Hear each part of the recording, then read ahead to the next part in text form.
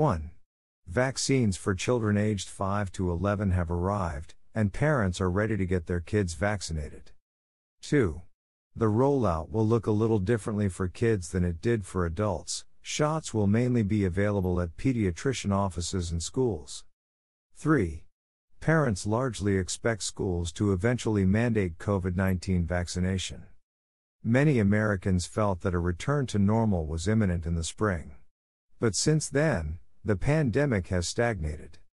The number of people who say they won't get vaccinated in Verywell Health's latest vaccine sentiment survey will not budge. 16% of respondents remain against getting the COVID 19 vaccine. This proportion hasn't changed meaningfully in four months.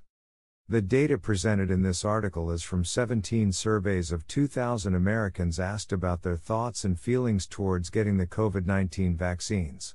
We collected the latest data for the week ending on November 3. Our survey sample highlighted four types of respondents based on their answer to whether or not they'd get an FDA authorized COVID 19 vaccine if it were free and available. 1. Acceptors, those who would agree to be vaccinated but have not yet. 2. Rejectors, those who would not agree to take a vaccine. 3. Undecideds, those who don't know if they would take a vaccine. 4. Vaccinated, those who have received a COVID 19 vaccination.